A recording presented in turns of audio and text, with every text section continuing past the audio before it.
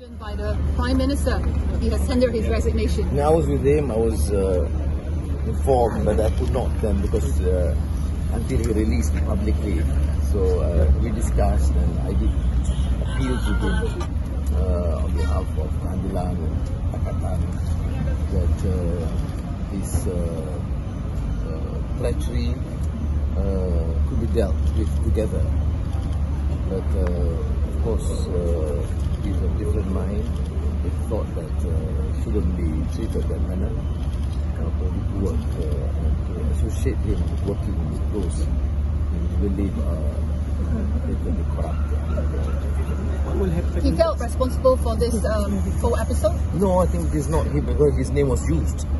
Uh, those within my party and outside, you know, using his name. And he said, he, he, made, he reiterated what he had said to me earlier.